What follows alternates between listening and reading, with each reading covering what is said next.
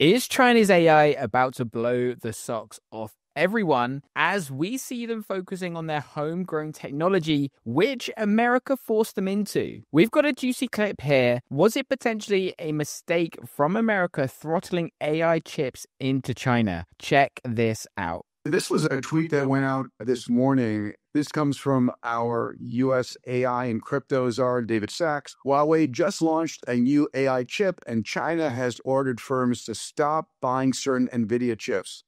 China is not desperate for our chips. It's producing its own and intends to compete globally in the semiconductor marketplace.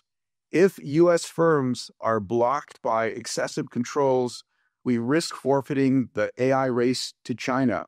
The hawkish position to help American companies win, not help Huawei build a digital Silk Road, is so critically important. As soon as you make anything illegal or you stop trade, you're incentivizing the other side, in this case, China, to develop capabilities and then compete directly with you.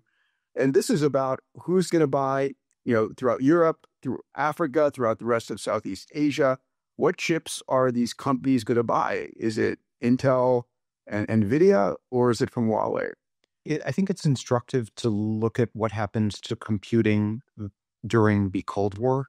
And in particular, there was so much siloization in the Soviet Union of their computing stack. They were inventing all sorts of exotic architectures like ternary computers in, in the West and ultimately the world. We settled on a binary architecture, zeros and ones for computers. The Soviet Union, because in part of the Iron Curtain, was experimenting deep in their tech stack with all sorts of exotic architectural options that the West wasn't considering. If the situation does play out in a way where there is effectively competition deep into the tech stack between great powers, then I would expect, based on history, that we're going to see, ironically, greater diversity deeper in the stack. Maybe not quite at the level of binary versus ternary computing systems, but certainly I would expect to see more experimentation deep in the stack. Does this ultimately help America by having a great capable sort of competitor out there. If the US was so over dominant uh, that it was the only player, the incentive to continue innovating is there, but still so much slows down when you got Huawei sort of leveling up to that of NVIDIA. I think you're going to see the White House, you're going to see Capitol, United States really tripling down. So, is this another, uh, in some way, is this move, is this sort of reality about Huawei and China going to become additional fuel for the US government and the US industries to align. I mean, again, we're in a in a war footing here. This is a war cry that we just heard from David Sacks. Yeah, I think what is new and interesting to me about what David is saying here is the digital Silk Road. We're not going to lose to China, but if the whole world ends up partnering with China and it's the US versus the world, if if Huawei becomes the open and friendly partner to the world and the US gets isolationist, that's what I think David is warning us against here. And so, you know, what is Europe going to do? What is India going to do? And that 1.4 billion people. Hans, how serious is the threat from China in developing their own homegrown chips and AI models? Are they genuinely competitive or is this all overblown? Well, unfortunately, I think it's a little bit too early to tell right now if this is a very serious threat, but it's also one that I don't think we can dismiss as a possibility either. I mean, if we just look at the history of the Chinese industrial policy and what they've been able to produce with industrial policy over the last couple of decades, it would be dishonest to say that there's no possibility of a threat arising from the AI chips that Huawei is going to be able to make over the next few years or what Chinese open source AI software will be capable of. I mean, if you don't think that Chinese industrial policy is serious business, well, just look at Legacy Auto and what they have been able to achieve there. In just a few short years, GM went from making the majority of its profits by selling cars in China to now hardly being able to sell anything in that market because the domestic offerings are just so good and they're priced so competitively. Currently, we believe that Chinese silicon fab is still several generations behind what the West Has access through with TSMC and with Samsung, uh, but they are getting very creative with the things that they have. Most of the equipment that Huawei's been given access to is for 7 nanometer chips, whereas TSMC is currently fabbing all the way down to 2 nanometer. But even just on that 7 nanometer equipment that they have, I believe they've been able to retrofit and upgrade that equipment to where they can actually make 5 nanometer chips currently. And we'll have to see what they're able to do moving forward. So while no, Huawei chips are not going to be competitive with NVIDIA today or anytime in the near future, that doesn't mean that 10 years from now, Huawei cannot be. But even if we set the quality of the chips aside, China can still compete with the United States in AI overall, even with inferior chips, just by throwing a lot more energy at the problem. And based on the rate that they are currently building out energy generation capacity in China, that's not going to be a challenge for them at all. And so they will definitely have the ability to go head to head with us in the software space from an overall capacity standpoint, as long as they can get their manufacturing up, even with older technology chips. Now, with all of that said, thankfully, we do have Jensen Huang and NVIDIA combined with the power and might of TSMC to compete against this Chinese effort. And thankfully, Jensen is no Mary Barra. They really do know how to execute and execute extremely well. So hopefully, we'll be able to maintain the lead that NVIDIA has for some time and outpace Huawei's growth well past the point that we have reached artificial general and then potentially artificial superintelligence.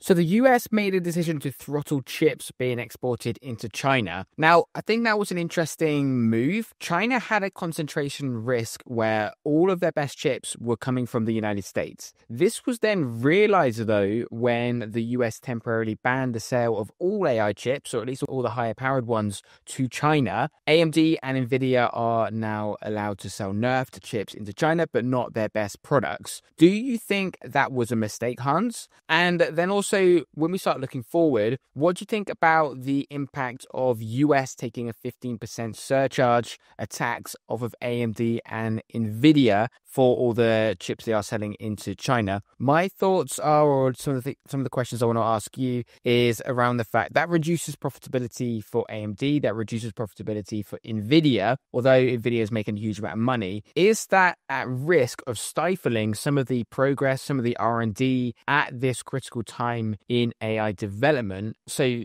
then for you, Hans, what, what do you think is the best play for US moving forward in regards to selling chips to China?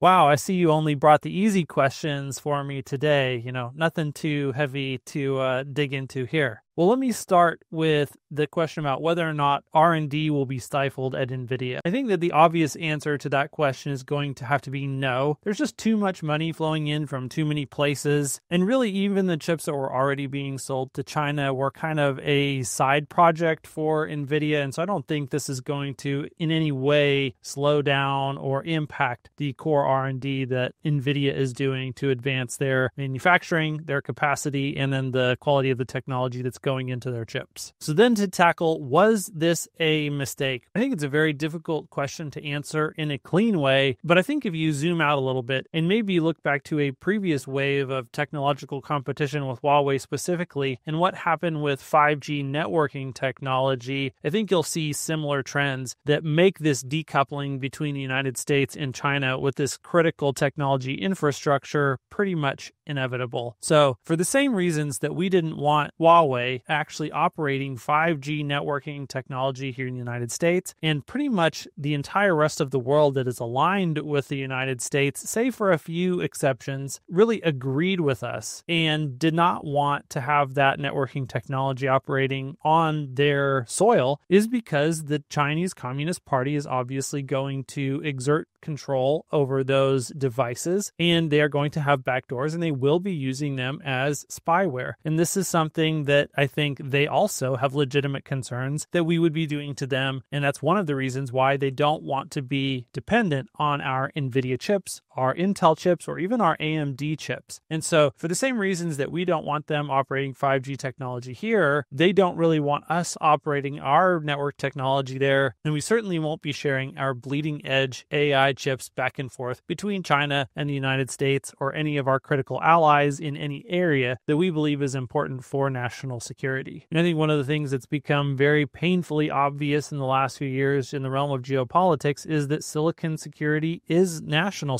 security. That's why we see such a strong push here in the United States this year and under this administration, but even going back to the Biden administration with the CHIPS Act to begin doing a better job of domesticating our chip supply. That way we can have anything that we need in the case of a geopolitical shakeup. And this is the same thing that China is doing right now. They don't want to be dependent on our chips for a number of reasons, not the least of which has to do with their designs on potentially taking back Taiwan sometime in the next five to 10 years. But with all of that said, the real question is you know, if the United States isn't going to be using Chinese chips from Huawei and China is not going to be using NVIDIA chips, and then there's going to be this competition in the actual software for AI, then the battleground is really just where does the rest of the world shake out? You know, do we have a repeat of what happened with Huawei's 5G networking technology and pretty much anyone who is aligned with the West? So the EU, many of our trading partners in the Asia Pacific region, including Japan and Korea and Singapore, you know, are they going to continue to buy from NVIDIA or will China be able to pull them into their orbit and their sphere of influence with those Huawei chips? I think anyone who purchases those chips does have to just recognize that they are going to be allowing the Chinese Communist Party to have a backdoor into critical things that they're doing with those AI chips. So I think that will really be the trade off that maybe they can get Huawei chips for cheaper than NVIDIA chips, but you're going to pay for that difference in cost with security. And I do believe there are going to be a number of countries for whom that will actually be an acceptable trade off, that they don't really have anything that they wish to hide from the CCP, or they are already beholden to the CCP such that it doesn't really matter if they have access to a little bit more data. But then there will be a number of other places where that's not an acceptable trade off at all. And if that is indeed the way that this goes, as long as the domestic production here in the United States of software and then the international production capacity of our allies is able to stay at the forefront of the AI technology frontier, then I think we'll have a nice stable equilibrium play out.